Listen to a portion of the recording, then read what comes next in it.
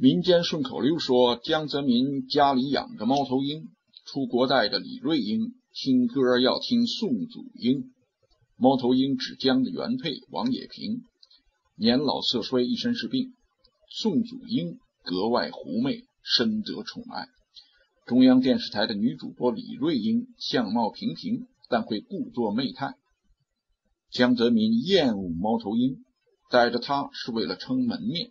标榜自己糟糠之妻不下堂，利用王的革命家庭背景掩盖自己的汉奸历史。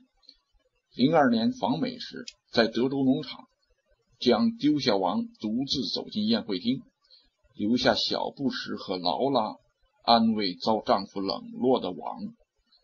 江泽民最爱宋祖英，人大副委员长陈克杰。因为表现出对人大代表歌星宋祖英有点关心过度，引起江泽民醋海生波，小命不保，被将处死。陈克杰至死也不知道自己得罪了谁，是谁非要他的命不可。有夫之妇，央视的女主播李瑞英也是江泽民的情人。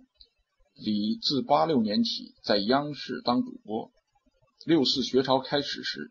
李也显得支持民主，戒严令一颁布，他马上改换态度，显得对学潮义愤填膺，人品实在不值一提。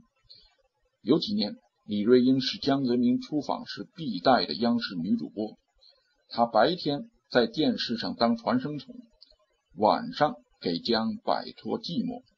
一次江出访时，李的采访像是在撒娇。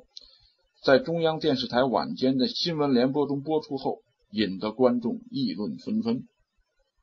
一次，在江泽民出访东南亚前，宋祖英和李瑞英在中南海里撞了车。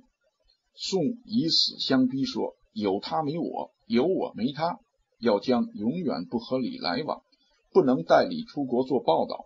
江默许，李嚎啕大哭，败阵而去。央视。从此取消了播音员出境。江泽民在五十年代留学苏联时，就勾搭苏联特工克拉瓦，后被迫当了克格勃间谍。当电子部部长时，第一次出国就在拉斯维加斯公费嫖妓。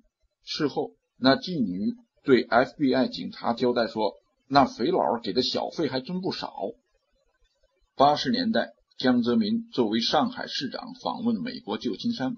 曾公费赌博和嫖妓，当时负责将贴身警卫的一美国高级警官，十几年后还念念不忘。这么高级别的官员会如此没有品行？江泽民自己都说不清和多少女人有不正当的关系，到底有几个孩子？除江绵恒、江绵康外，江还有个儿子叫江传康。从来没有出现在全家福照片上。江传康是上海中层党政干部，负责迫害法轮功的六幺零办公室。